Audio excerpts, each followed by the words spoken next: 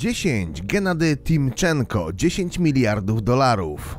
Jest rosyjskim oligarchą i miliarderem. Założył i jest właścicielem prywatnej grupy inwestycyjnej Volga Group. Volga Group została założona jako Volga Resources w 2007 roku i przemianowana na Volga Group w czerwcu 2013. W 1991 roku Timczenko zdecydował się opuścić Rosję i został zatrudniony przez fińską firmę Ural Finland Oil, specjalizującą się w imporcie rosyjskiej ropy do Europy. Osiadł w Finlandii i został obywatelem fińskim. W 1995 roku firma Ural Finland Oil została przemianowana na International Petroleum Products Oil, a Timczenko został jej prezesem, a następnie dyrektorem generalnym. W 1997 roku wraz ze szwedzkim biznesmenem Torbjörnem Torquistem założył globalną firmę handlu towarami Gunvor.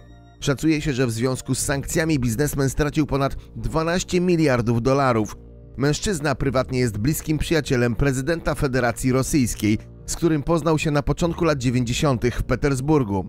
Putin wówczas został przewodniczącym klubu judo, którego współzałożycielem był właśnie Timczenko. 9. Leonid Fedun 11 miliardów dolarów. Jest to znany rosyjski biznesmen, właściciel FC Spartak i wiceprezes koncernu Lukoil. Fedun urodził się w Kijowie w 1956 roku. W 1977 roku młody człowiek ukończył studia. Po obronie pracy doktorskiej z filozofii Leonid przez kilka lat uczył politologii i ekonomii. W 1987 roku przyszły biznesmen został wysłany do Kogalem, miejscowości znanej jako wioska naftowców, gdzie poznał Wigata Alek Petrowa, który w tym czasie kierował jedną z największych wiosek gazowych w Rosji. W 1991 roku powstał koncern Lukoil. Następnie firma ta została formalnie podporządkowana Ministerstwu Gazu i Ropy. Fedun w 1994 roku został prezesem spółki.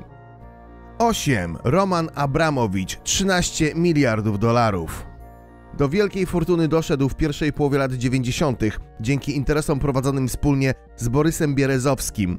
Przez wiele lat był właścicielem firmy naftowej Sibnieft, jednak w 2005 roku odsprzedał ją Gazpromowi. Należał do tzw. Tak grupy kremlowskiej za czasów Borysa Jelcyna. Obecnie uchodzi za oligarchę luźno powiązanego z Kremlem. W 2003 roku kupił angielski piłkarski klub Chelsea FC i od tego czasu mieszka w Londynie. W ciągu dwóch lat zainwestował w stołeczny klub ponad miliard funtów i uczynił Chelsea jednym z najlepszych zespołów w Europie. W marcu 2022 roku Roman Abramowicz poinformował oficjalnie, że podjął decyzję o sprzedaży Chelsea. Oświadczenie rosyjskiego miliardera znalazło się na stronie internetowej The Blues. 55-latek w ten sposób reaguje na sankcje, jakie lada dzień może nałożyć na niego Wielka Brytania.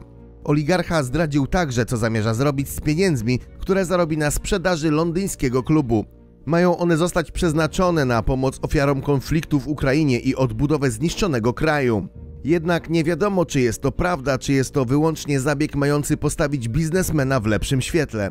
Do mediów wyciekły informacje, że biznesmen chce również sprzedać swoje nieruchomości, które posiada w Londynie.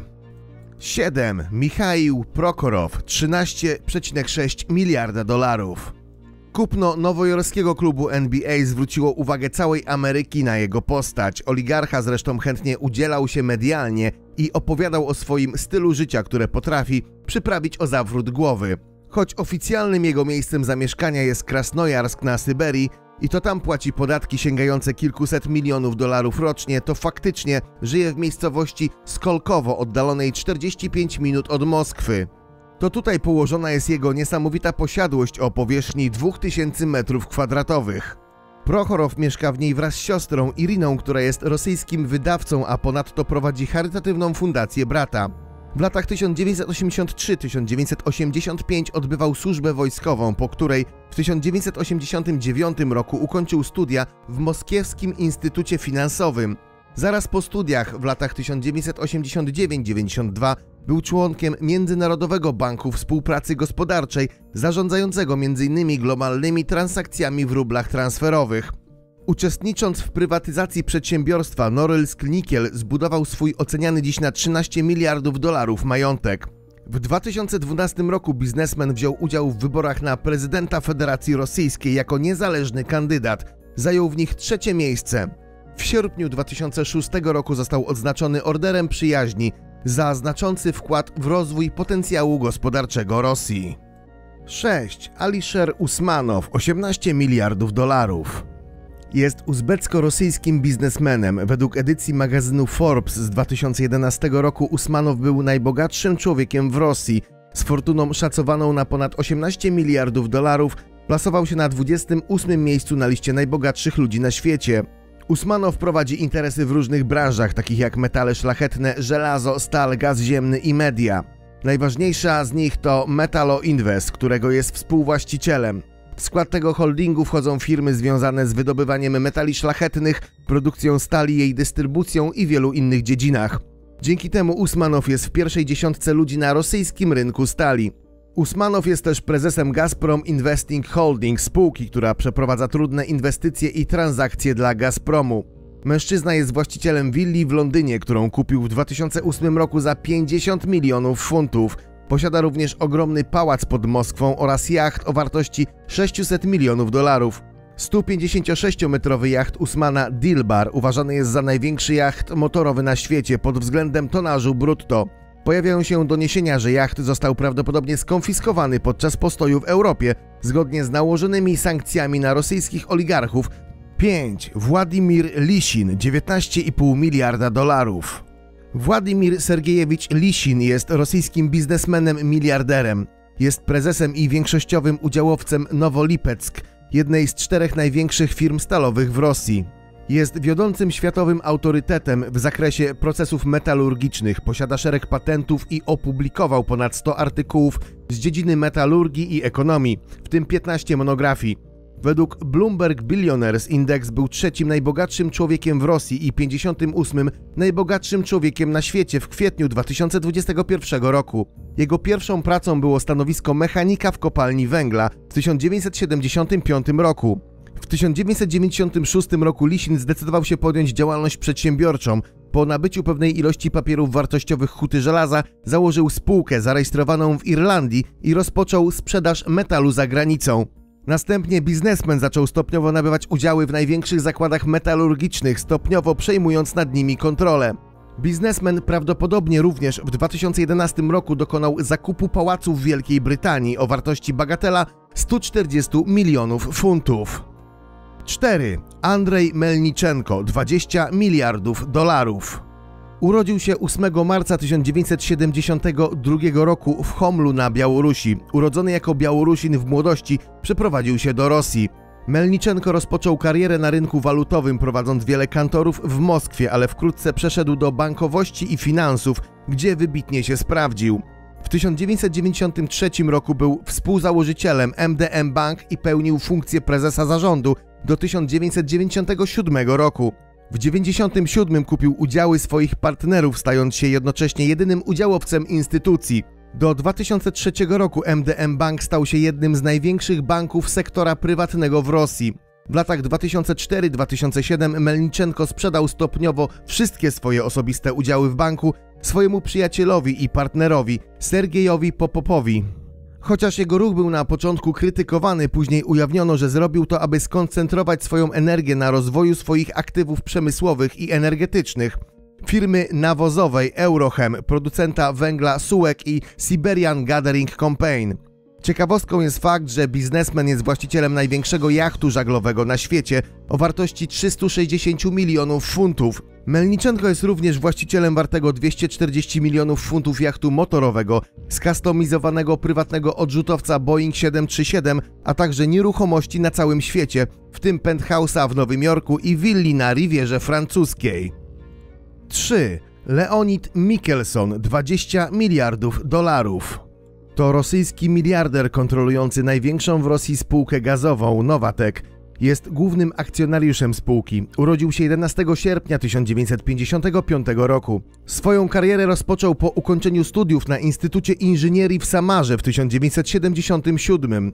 Mikkelson zaczął pracę jako kierownik budowy. Jednym z pierwszych jego projektów była praca nad gazociągiem Uregnoi-Czelabińsk. Kariera Leonida rozwijała się dość szybko. W 1985 roku został mianowany głównym inżynierem firmy budowlanej, a dwa lata później został dyrektorem generalnym państwowej firmy, która została jako pierwsza sprywatyzowana po rozwiązaniu Związku Radzieckiego. Firma w 1994 roku zmieniła swoją nazwę na Nova. Dzięki wyciekowi danych Paradise Papers wiadomo, że jest właścicielem odrzutowca Gulfstream G650, który został zarejestrowany w USA.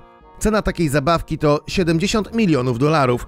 W związku z sytuacją panującą na Ukrainie oraz nakładanymi na oligarchów sankcjami szacuje się, że w ciągu tygodnia majątek biznesmena skurczył się o 10 miliardów dolarów.